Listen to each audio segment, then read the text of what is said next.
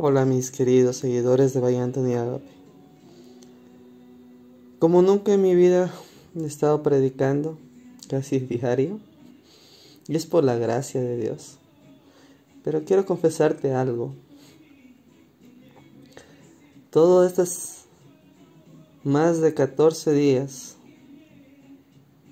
que he estado en una oración continua, Dios me ha demostrado que soy pecador, pecador, pecador. Soy una persona que realmente necesita tanto de Dios y de la limpieza que trae por medio de su Espíritu Santo. ¿Por qué? Y en cierta forma creía que era un buen seguidor, un buen creyente. Obviamente no me consideraba cristiano, pero aún así decía, mm, estoy haciéndolo bien. No me he ido al mundo. No he hecho cosas que pueda lamentar o con consecuencias graves. Pero es porque Dios ha tenido misericordia. Y Él me ha buscado, me ha buscado. Golpeó la puerta de mi vida, de mi corazón yo quiero que se lo imaginen en este momento alguien golpeando la puerta de su cuarto. No somos nosotros los que fuimos a buscarlo a Dios. Fue Dios el que llegó hasta nuestra vida y tomamos la decisión de abrirle la puerta. Y cuando Él entró, cenó, dice la palabra en Apocalipsis, cenó con nosotros, hizo un banquete, nos abrazó y obviamente cuando entra es como este cuarto, ¿no? Ahí pueden verlo. Dice, mmm, aquí hay que hacer un arreglo. Hay cosas que quitar. Hay que cosas que cambiar. Hay cosas que quemar. Y eso es algo wow, wow, lo puedo expresar de esa palabra.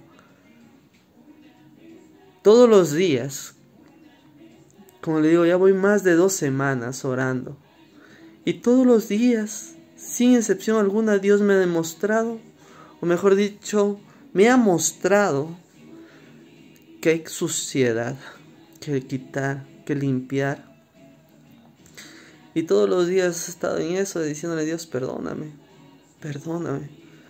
Voy a quitar esto, voy a borrar esto de mi compu, voy a borrar estos contactos de mis redes sociales. Voy a hacer esto y lo otro. ¿Por qué? Porque tu amor habita en mí. Es tu amor el que está en mí ahorita. Y hay que limpiar y no me voy a resistir. Si quieres sacar esto de mi cuarto, de mi vida, por hacer las referencias con el cuarto, hazlo, hazlo. Yo te doy el permiso. Y es, es lo que hace la oración. Dios está esperando que le digamos en, en oración, toma el control, toma el control de mi vida. Toma ese control y comienza a cambiar. Ahorita yo entiendo muchas cosas. ¿Por qué una persona realmente no toma una decisión conmigo? Y es porque había mucha violencia, mis palabras, siempre a la defensiva, con tal de no dejarme herir, poniendo esas barreras.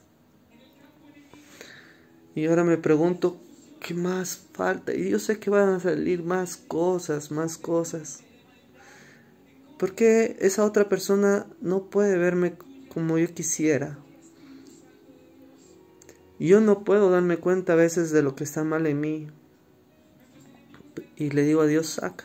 Saca lo que tengas que sacar, Padre. Trabaja en mi vida. Porque realmente eso quiero. Que tú trabajes conmigo. Y comiences a cambiarme. A cambiarme porque no me agrada lo que soy yo. No me daba cuenta hasta que entraste a mi cuarto y comenzaste a ver todo lo que estaba ahí. Y me dijiste, mira esto. Mm.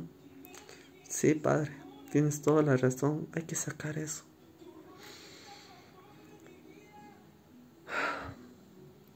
Yo no sé qué tú opinas sobre todo lo que yo he estado haciendo. Tú tal vez me estés siguiendo. Yo no sé qué tú opines. Pero sí te digo algo. Algo muy importante. Tienes que permitirle a Dios trabajar en tu vida. Porque realmente somos pecadores. Pecadores, imperfectos. Y hay muchos mecanismos de defensas activados en nosotros que pueden lastimar a otros. Que no nos demos cuenta. Hay que darle a Dios la libertad completa para que renueve nuestro ser. Si tú quieres ser bendecido por Dios, permítele a Dios que trabaje. Busca tú. Si a Dios te ha permitido eso, busca. Porque incluso cuando nosotros buscamos, porque Dios permitió que lo busquemos. Él, él permitió que le busquemos para que lo oyemos. Y síguelo buscando, síguelo buscando. Y vas a ver cómo tu vida cambia. Tus pensamientos cambian, tus metas cambian. La base que tenías para ser feliz en la vida cambia. Hoy en día entiendo que no va a ser mi profesión, no va a ser el dinero, no son mis sueños los que me van a dar estabilidad y felicidad. Es Dios, Dios, solo Dios. Él arreglará todo. Gracias Padre porque tú me hablas todos los días. Y a pesar de que a veces me he dejado de caer y pensar que he estado haciendo mal, que he estado orando mal, tú me muestras por medio de otras personas que no he estado mal, que he estado bien. Gracias, Santo Rey, porque eres bueno. Señor, yo quiero también orar por cada persona que está escuchándome, para que tú transformes su manera de pensar y que pongas tu Espíritu Santo para derramar tu amor en sus corazones. Gracias, Santo Rey. Te doy gracias desde ya por mi esposa porque está el mismo Espíritu, tu Espíritu Santo, trabajando en ambos.